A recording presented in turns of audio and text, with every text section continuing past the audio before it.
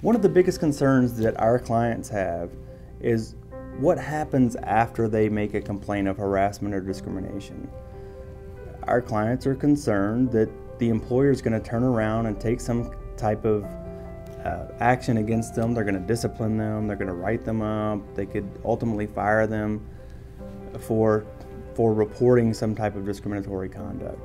What I would say to you and what I say to our clients is that there are provisions in the law, anti retaliation provisions in the law, that prevent employers from taking retaliatory action against an employee for engaging in any type of protected activity.